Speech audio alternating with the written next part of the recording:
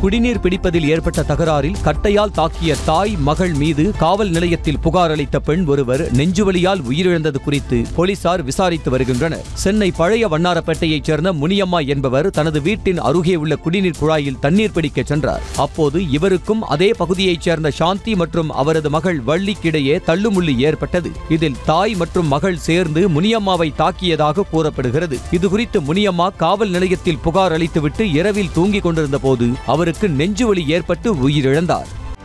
செய்திகளை உடனுக்குடனும் துல்லியமாகவும் தெரிந்து கொள்ள சப்ஸ்கிரைப் பண்ணுங்க.